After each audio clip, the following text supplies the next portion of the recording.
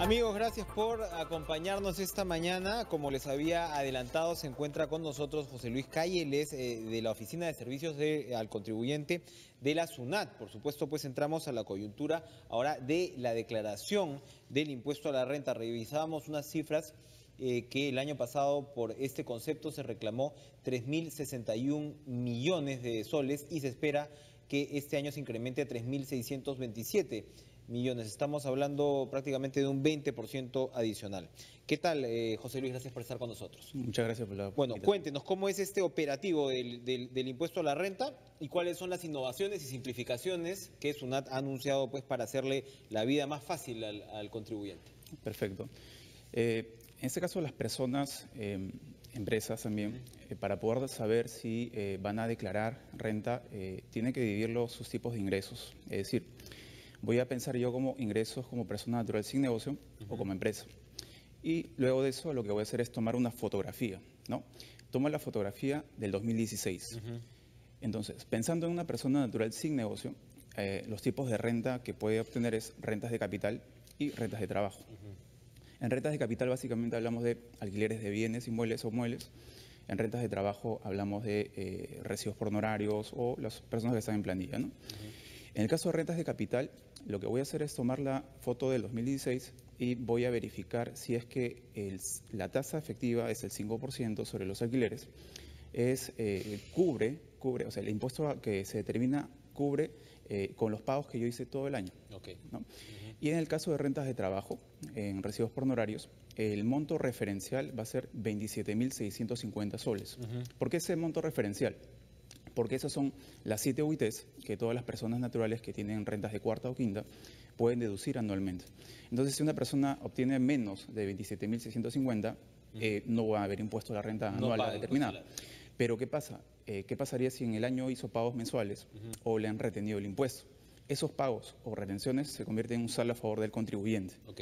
Y en ese caso la persona que puede hacer puede pedir la devolución Hay un tema de devolución. o puede esperar eh, o aplicarlo contra futuros pagos del próximo O sea, es decir, si es que la persona ha ganado menos de 27.650 soles, pero ha tenido retención de impuestos a lo largo del año, puede pedir una devolución. Exactamente. Puede tener crédito tributario para el año siguiente. Exactamente, ¿no? Se forma un saldo a favor del contribuyente y puede pedir la devolución. Eh, y básicamente, ¿en qué consiste esta declaración? Es yo, persona natural, que tomé la foto como he indicado, voy a presentar una declaración en el formulario virtual 703. 703. 703. Ese Está en la web. Está en la web, está en Declara y Renta 2016.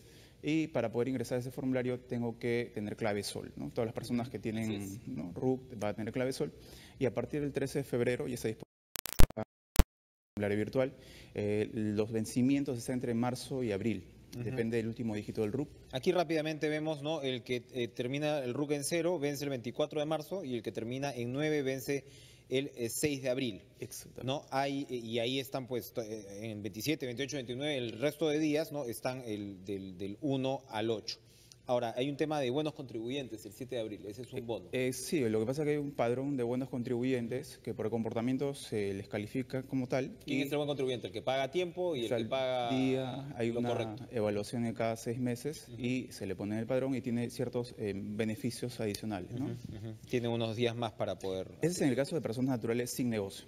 En el caso de empresas, eh, básicamente son las empresas que eh, están en el régimen general del impuesto a la renta. Cuéntele sobre todo a lo que son eh, eh, pequeñas, medianas empresas que son nuestra audiencia. Se supone pues que las grandes empresas ya, ya tienen este, equipos de contadores y están más o menos enterados. Una, una persona que ha iniciado un negocio, que lo tiene reciente, que por ejemplo va a declarar por primera vez, ¿qué cosa es lo que tiene que tomar en cuenta? Ok, eh, estamos hablando de personas naturales eh, con negocio o personas jurídicas con negocio micros, por ejemplo, ¿no? microempresas que no superan 150 unidades impositivas en el año. En ese caso, eh, 150 unidades impositivas en el año es cuánto más o más menos? o menos 4.000, 600.000. 600.000 600.000 aproximadamente. aproximadamente. Entonces, lo que en este caso hay que ver es, básicamente, eh, es el régimen tributario.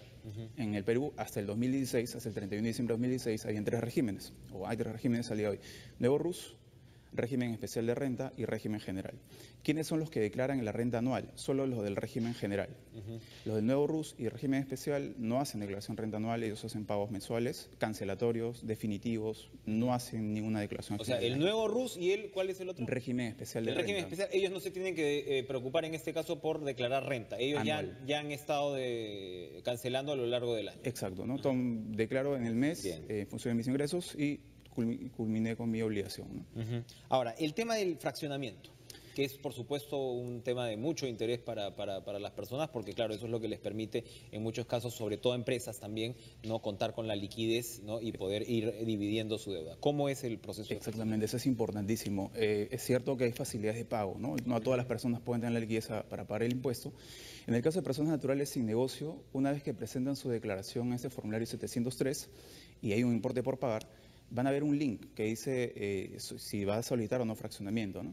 Entonces, lo que van a hacer es dar clic a ese link y les va a llevar a un formulario virtual. Entonces, en ese formulario virtual, la persona...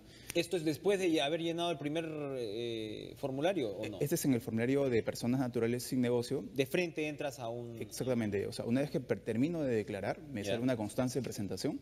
Ahí voy a verificar que hay un link para fraccionar. Entonces, lo que voy a hacer es dar clic a ese link y eh, el fraccionamiento, si la deuda no es superior a 3 UITs, aproximadamente 11 mil soles, eh, y el plazo a fraccionar no supera 12 meses, no me piden una cuota de acogimiento que sería diferente si la deuda es mayor a tres UITs. Que es una suerte inicial. Exacto, es como un sinceramiento a ver si lo voy a pagar o no el fraccionamiento. ¿no? Entonces, eh, de esa manera fracciono. Espero mi resolución en el Entonces, si tengo menos de tres UITs, no tengo que dar esta cuota de acogimiento y puedo dividir mis 11.000, por ejemplo, en 11 cuotas, o, sea, no más de 12, meses, cuotas. Exactamente. 12 cuotas.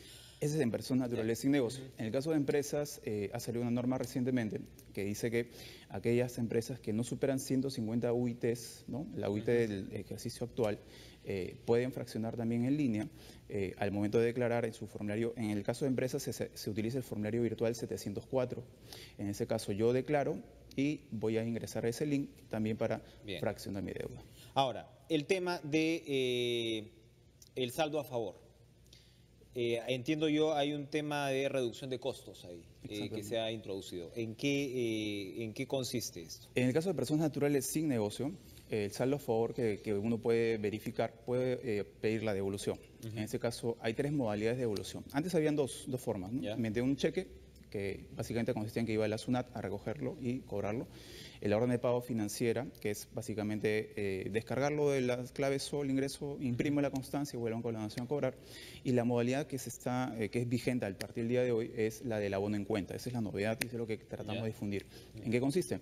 Aquella persona natural que esté identificada con DNI y tiene una cuenta de ahorro en soles exclusivamente como titular, no cuenta mancomunada, puede ingresar a hacer su devolución y si eh, ingresa el abono en cuenta, tiene que ingresar el código cuenta interbancario. De esa manera eh, se le estará abonando a su cuenta de ahorros en soles. Esa sería la, la, novedad. Muy bien, bueno, y ha entrado, ya entrando a otro tema en vigencia, el IGB justo. ¿No? Eh, esto, eh, ¿qué, cuáles son sus características principales? ¿Quién, se debería, ¿Quién debería prestarle atención a este beneficio? En líneas generales, ¿no? Básicamente, eh, a partir del periodo febrero del 2017, las personas, empresas, en este caso, podrían prorrogar el pago del IGB, ¿no? Este, Es básicamente eso ya en el formulario PTC 21 ya se está, ya se ha inclusive em, actualizado la versión esto para poder que el contribuyente pueda marcar la opción de que va a prorrogar el pago del IGB, ¿no? Hay ciertos requisitos. Ahora, ah, este, que, pues, se puede enterar en, línea, pero ahí va en, el, en, la misma dirección de lo que hablamos del fraccionamiento, ¿no? En el caso de empresas, ¿no? Eh, el, fraccionamiento les permite de repente contar con esa liquidez, en el caso del IGB justo también, porque la distorsión ¿no? que, había antes era que uno pagaba el IGB en muchos casos antes que ingresen los, ¿no? Eh, antes que ingrese el dinero por el servicio que se haya prestado. Entonces uno declaraba